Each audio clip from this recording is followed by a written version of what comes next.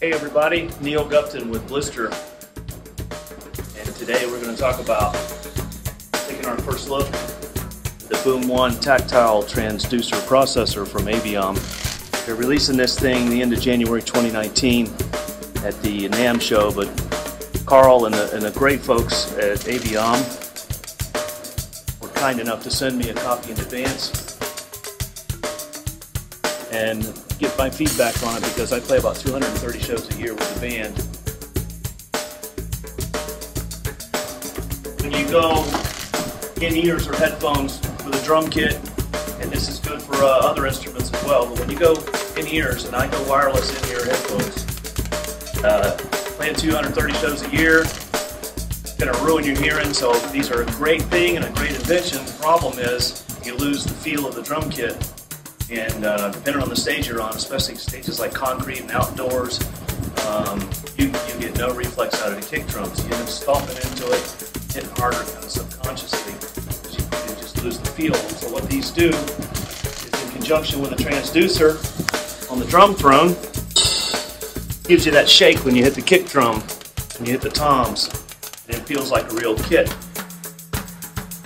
The unit that Pearl used to sell, they've discontinued them called a Throne Thumper. Luckily, uh, Aviom uses the same transducer, uh, so I was able to keep mine because I had the old Pearl model.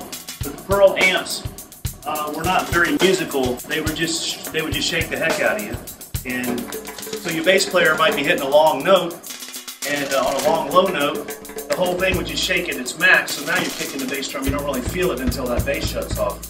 What they've done here is they put digital signal processing in, and they made it a much more musical device to work with. It's very simple. The manual that comes with it, I mean, there's only a few inputs and outputs, real simple. You can hook it up hardwired. They have personal mixer uh, stations on their website.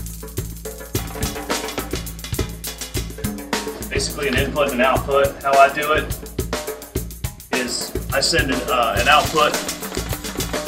So we'll go like auxiliary out from the, the board. Let's say auxiliary 1 out from the mixing board. That's fine. And I just go to the balanced line in on the back. And then from the transducer, I just leave it attached to my drum into the back. That's simple. All I need to do is hook the power cord up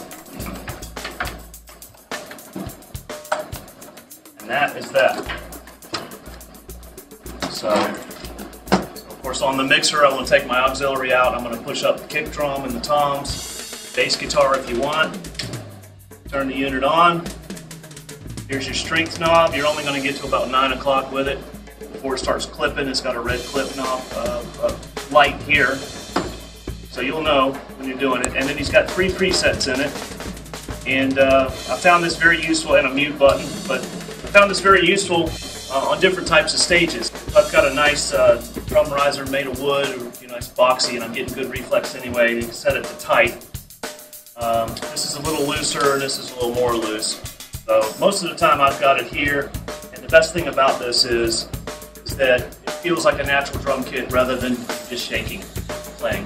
It's got dip switches in the back here that tells you in the manual how you can flip those uh, for low pass, high pass filter. I've been really enjoying it over the past seven or eight shows that we've done and uh, highly recommended at this point. So look them up. Website's at the bottom of your screen. aviom.com. You'll see their personal mixers that go with this too.